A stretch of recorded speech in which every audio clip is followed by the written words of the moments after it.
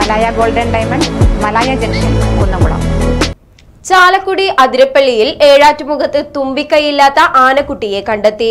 കഴിഞ്ഞ ദിവസം വൈകിട്ട് ആറരയോടെയാണ് പുഴയോരത്തെ ഏഴാറ്റുമുഖം പ്ലാന്റേഷൻ സമീപത്തായി ആനക്കുട്ടിയെ കണ്ടത്. അഞ്ചോളം ആനകളുടെ കൂടിയാണ് മാസങ്ങൾ മാത്രം പ്രായമുള്ള ആനക്കുട്ടി ഉണ്ടായിരുന്നത്. വിനോദസഞ്ചാരികളും മറ്റും ചിത്രം പകർത്തുന്ന ശ്രദ്ധയിൽപ്പെട്ട അതിരപ്പള്ളി പോലീസ് സ്റ്റേഷനിലെ senior C P O Jilesh ചന്ദ്രനാണ് തുമ്പിക്കൈയില്ലാത്ത കുട്ടിയാനയുടെ ചിത്രം ക്യാമറയിൽ പകർത്തിയത്.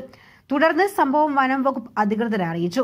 കുട്ടിയാനയെ കണ്ടെത്തുവാൻ വനം വകുപ്പ് അധികൃതർ വനത്തിനുള്ളിലും മറ്റും പരിശോധന നടത്തി വരികയാണ്. ജനിച്ചപ്പോൾ ഉണ്ടായ അപൂർവ സംഭവമാകും തുമ്പിക്കൈ ഇല്ലാതിരിക്കുവാൻ കാരണമെന്നാണ് വിദഗ്ധർ പറയുന്നത്. വന്യമൃഗങ്ങളുടെ ആക്രമണത്തിൽ പരിക്കേറ്റാൽ ആന ജീവനോടെ ഇരിക്കുവാൻ സാധ്യതയില്ലെന്നാണ് പറയുന്നത്. കുട്ടിയാനയും സംഘവും വനത്തിനുള്ളിലേക്ക് കയറിപ്പോയതാകും ആനയെ കാണാതിരിക്കുവാൻ കാരണമെന്ന് പറയുന്നു. Light news Chalakudy. Malaya golden diamond Malaya junction Kunnamkulam.